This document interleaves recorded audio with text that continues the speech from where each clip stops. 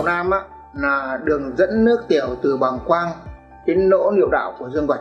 Đây cũng là bộ phận dẫn tinh dịch mỗi khi nam giới xuất tinh à, bệnh viêm niệu đạo là do tình trạng niệu đạo viêm nhiễm do nhiều nguyên nhân gây ra.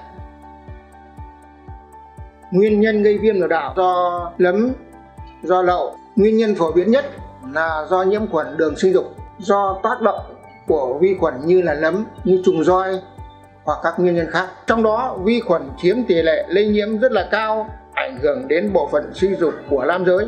Thứ hai là do quan hệ tình dục không an toàn. Đối với những nam giới đã quan hệ tình dục, nếu người tình nhiễm các bệnh liên quan đến phụ khoa thì nguy cơ viêm niệu đạo nam rất là cao. Thứ ba là do dài hẹp nghẹt bao quy đầu các vấn đề về bao quy đầu làm cho việc vệ sinh rất là khó khăn. Vi khuẩn tích tụ lại trong cái bao quy đầu là gây viêm nhiễm ngược dòng.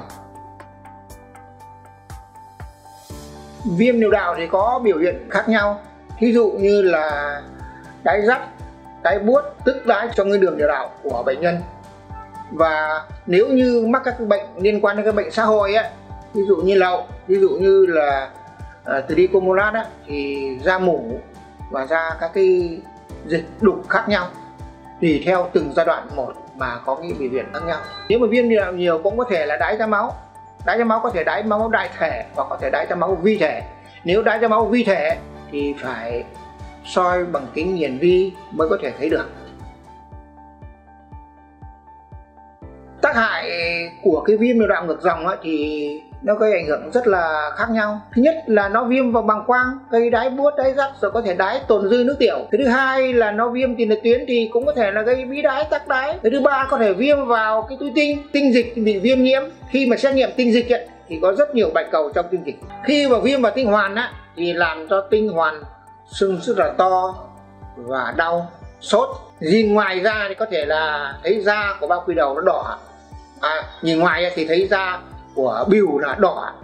À, khi mà viêm vào màu tinh ấy, thì làm cho sơ hóa cái màu tinh việc xuất tinh hoặc là vì di chuyển của tinh trùng rất là khó khăn nhiều bệnh nhân tức đau. Ở cái màu tinh ấy, rất là lâu dài. Khi mà viêm vào đó thì sẽ làm viêm vào tinh hoàn á, thì sẽ làm cho việc sản xuất các cái nội tiết tố của nam giới là khó khăn làm cho ham muốn kém. Không nào? Đấy rồi có thể dẫn đến là rối loạn cương liệt ờ, dương, thì làm nó ảnh hưởng đến tâm lý của người con trai và đồng thời ảnh hưởng đến tâm lý của người phụ nữ.